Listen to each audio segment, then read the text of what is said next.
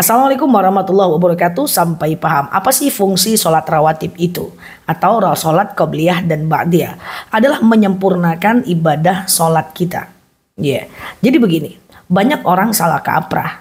Di masjid dia rawatib, di rumah dia nggak rawatib. Dia menganggap rawatib itu adalah antara azan dan iqomah. Jadi kalau ke masjid setelah azan, kemudian dia rawatib, kemudian iqomah, baru dia sholat berjemaah. Padahal rawatib itu bisa dikerjakan di rumah selagi masih ada waktu sholatnya. Bahkan justru lebih penting di rumah. Kenapa? Karena begini konsepnya. Kalau kita rawatib di masjid, tidak rawatib kita saat sholat berjamaah, salah bacaan kita, ada imam yang menggantikannya.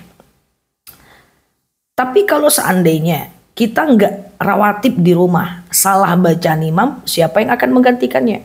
Maka itulah gunanya rawatib itu di rumah. Tujuannya apa? Kalau seandainya salah bacaan kita, ada rawatib yang menyempurnakannya. Jadi rawatib itu tujuannya adalah menyempurnakan sholat kita. Kadang sholat ini kita nggak khusyuk, kadang pikiran ke mana-mana, ya. Kadang-kadang uh, kita bergerak lebih dari tiga gerakan. Nah itu hal-hal seperti itulah yang mesti disempurnakan dengan rawatib. Jadi lingkarnya itu adalah kita rawatib sholat wajib dulu, baru kita sholat sunnah rawatib lingkar ring keduanya. Artinya apa? Tujuannya menyempurnakan ibadah sholat kita. Suatu ketika Rasul berkata kepada sahabat, sebenarnya sholat kau itu sumbing ya.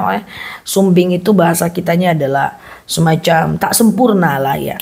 Tapi karena kau tambah dengan rawatib, maka dia menjadi sempurna di mata Allah. So, jangan tinggal rawatib ya. Cek video saya sebelumnya tentang rawatib. Itu saya ulang lagi nih. Dua rakaat sebelum subuh, dua atau empat rakaat sebelum zuhur, dua atau empat rakaat setelah zuhur, dua rakaat sebelum asar, dua rakaat setelah maghrib, dua rakaat sebelum isya, dua rakaat setelah isya. Oke, okay? semoga bermanfaat ya. Neologi di sini, like, share video ini, follow kanal sini dan sampai paham. Assalamualaikum warahmatullahi wabarakatuh.